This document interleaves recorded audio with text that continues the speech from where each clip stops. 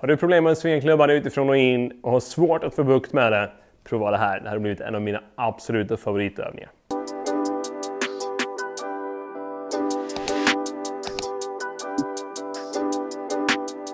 Hej! Max Persson här och välkommen tillbaka till mxpgolf.se. Jag tänkte dela med mig av en av mina nya favoritövningar för att sluta svinga utifrån i dagens video. Men innan vi kommer dit skulle jag uppskatta om du vill hjälpa mig att sprida ordet om mxpgolf.se till fler golfare där ute. Enklaste sättet att göra det är att prenumerera på Youtube-kanalen. Varför inte gilla videon? Och om det är någonting du tycker om eller någonting du vill berätta, lämna gärna en kommentar här under också. Det hjälper mig otroligt mycket och det hjälper mxpgolf.se att nå fler golfare där ute. Låt oss med det sagt kolla in det här att svinga utifrån. Vi tar det från början. En snabb, återigen, genomgång på vad det är som verkligen händer. Vi har som enkelt beskrivet som golfare en utsida.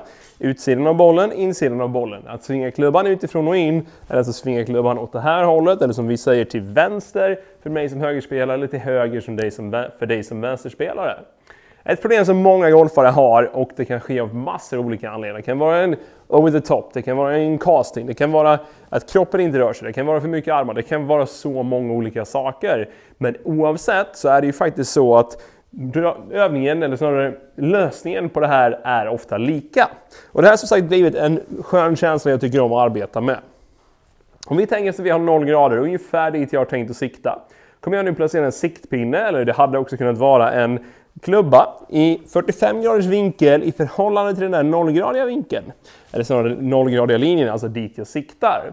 Den här siktpinnen nu kommer hjälpa mig att överdriva känslan jag vill komma åt. För om mitt problem har varit att jag svingat jobbar väldigt mycket den här vägen, utifrån och in, då innebär det alltså att inifrån, den här sidan, och ut är raka motsatsen. En spelare tar sig aldrig från extremt mycket på den ena sidan till extremt mycket på den andra, utan det är en successiv progression. Därför kan vi använda en överdrift för att förtydliga vad det är vi vill komma åt. Så kort och gott det jag vill att du gör nu är att ställa upp dig. Svingar upp till toppen av svingen och när du svingar ner mot bollen långsamt, långsamt, långsamt vill jag att när din klubba är parallell med marken så matchar den stickan eller klubban här bakom dig. du ser att klubban är väldigt långt bakom mig.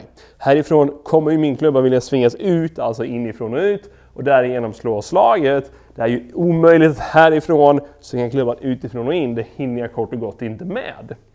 Återigen, klubban eller siktpinnen jag har bakom mig vill jag matcha när klubban är parallell med marken, men det här är en stor överdrift. Jag kommer inte komma hit när jag svingar, men det är känslan jag vill arbeta efter. Så det vi gör är ett par repetitioner där. Jag gör en till. Upp, ner, matcha, bra. Och sen vill jag slå med samma känsla.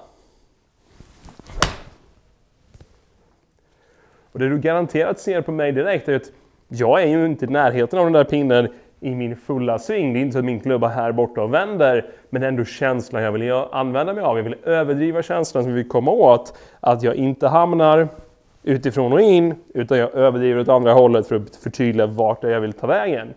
Har jag ett tydligt problem att jag svingar väldigt mycket utifrån och in så är en överdrift åt andra hållet rätt väg att starta. Och det har hjälpt även de mest kroniska av sliceare och utifrån och inare till att börja få betydligt mindre utifrån och in bara genom känslan att det är upp, ner och matcha och därifrån släppa iväg.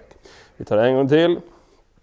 Upp, matcha klubban med klubban eller pinnen på marken och därifrån igenom och sen slår vi med samma känsla.